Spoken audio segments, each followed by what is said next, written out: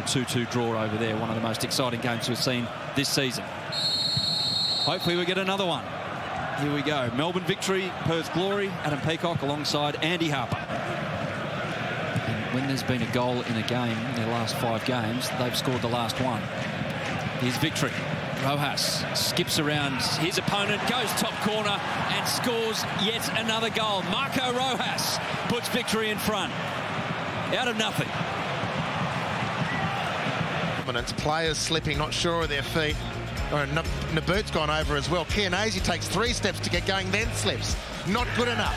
And Rojas says why it's not good enough because he dances onto his left foot and he fires it past the outstretched Reddy. It's a brilliant finish. The player's going over like nine pins, and that's a big contributor to the goal. That plus the wonder of Marco Rojas. What a beautiful hit. Rojas a little deeper than usual. And Roux and Nabbout gets the other side of Elrich. Trouble here. Penalty.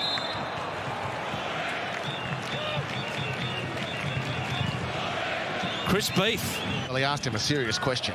It's a great foot race. Really positive play from the boot.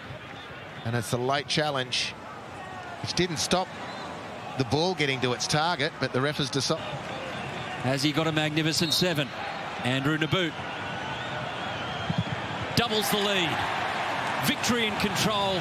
And in the front half of the field, comparing the two teams, Victory have just had more drive. And none, no better example of this. Now and uh, Nabbout plays the one-two. There he is. And Rojas, little juggle, gets rid of Malik and gets another goal. Marco Rojas at the double and Melbourne victory.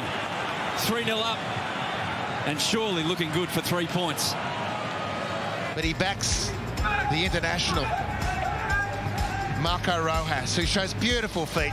Two good touches and then profits. One day.